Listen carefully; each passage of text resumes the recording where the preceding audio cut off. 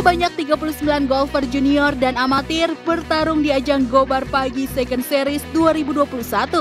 Bertempat di Riverside Golf Course, para atlet muda ini bermain maksimal selama dua hari pertandingan 14 dan 15 Desember.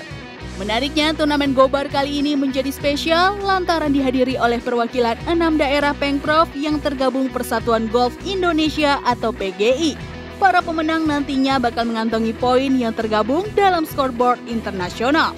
World Ranking Amatir ini kita mau sejajarkan dengan internasional supaya Indonesia itu bisa sejajar dengan dunia mancanegara dan internasional. Kita tahu begitu banyak lapangan golf yang ada di Indonesia, alangkah bagusnya kita harus the leader juga untuk dunia golf. Turnamen Gobar sendiri merupakan agenda wajib bagi pengurus Perkumpulan Akademi Golf Indonesia PAGI yang bermarkas di Emeralda Golf Club ini.